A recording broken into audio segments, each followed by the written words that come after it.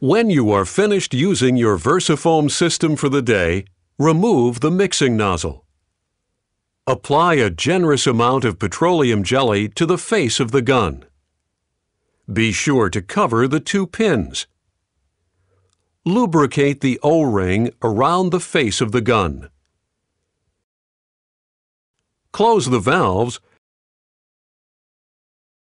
and place some petroleum jelly on the valve stems.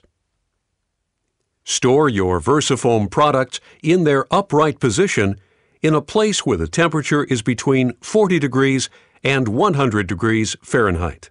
If you will be storing the kit for more than seven days, we strongly recommend that you activate the system at least once a week, more often in humid weather. To perform your weekly maintenance activation, open the valves, check for leaks, and point the gun into a waste container.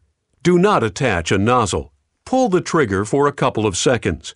Agitate the chemicals in your waste container to make sure they solidify. Repeat the shutdown procedure. By following this procedure, you will extend the life of your dispensing gun. When you're ready to reuse the kit, follow the same maintenance procedure. Open the valves, check for leaks, aim the gun, with no nozzle, into a waste container to be sure it is dispensing two streams of chemical of equal velocity. Agitate the chemicals in your waste container so they solidify. Install a new nozzle onto the gun. Now you are ready to dispense foam and begin your new project.